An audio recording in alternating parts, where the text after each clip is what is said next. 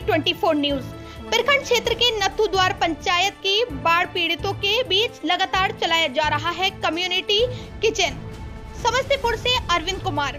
गौरतलब है कि समस्तीपुर ज़िले के खानपुर प्रखंड अंतर्गत नथु द्वार पंचायत के कई वार्ड पानी से घिर चुके हैं, जहाँ हज़ारों की संख्या में लोग अपने घर को छोड़ बाँध पर शरण लेने को मजबूर हैं, जिसको देखते हुए ज़िले से प्रतिनियुक्त बाढ़ प्रभारी रामाकांत पासवान व अंचल अधिकारी के नेतृत्व में नथु द्वार पंचायत के वार्ड संख्या आठ व दस में दो जगह पर कम्युनिटी किचन चलाया जा रहा है।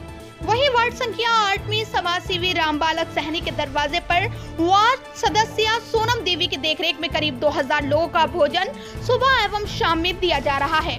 वही वार्ड संख्या 10 में समाज सेवी सुरेश महतो के द्वारा वार्ड संख्या 9, 10, 11, 12, 13 और 14 के आंशिक रूप से प्रभावित बाढ़ पीड़ितों के बीच शुद्ध भोजन उपलब्ध कराया जा रहा है।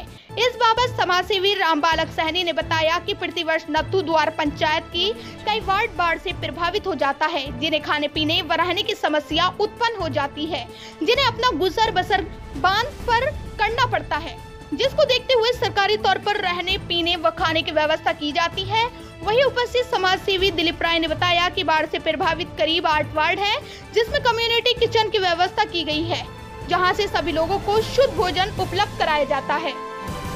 रामबालक जी बताएँगे कि क्या व्यवस्था की गई है बाढ़ पीड़ितों के लिए? बाढ़ पीड़ितों के लिए सीओ साहब अंचलाधिकारी के आदेश पर सभी ग्रामीणों को बाढ़ की आपदा से पीड़ित हैं उन लोगों को हम लोगों की देख रेख में खाना बना के और सबको घरे घर पहुँचाना मेरा कितने लोग बाढ़ प्रभावित हैं यहाँ?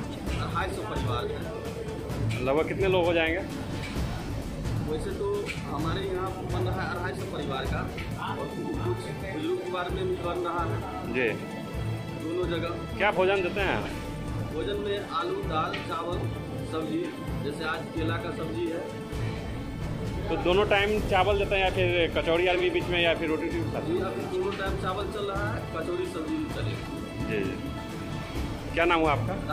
पंचायत? कौन कौन सा वार्ड जो है प्रभावित है यहाँ? आठ नंबर पाँच नंबर छः है सात तेरह चौदह नौ दस ऐसे ही। तो कब तक जो है ये कम्युनिटी किचन चला चलाया जाएगा? तक पानी सर खत्म नीचे नहीं चल जाती है तब तक चलता रहेगा। क्या नाम हुआ आपका?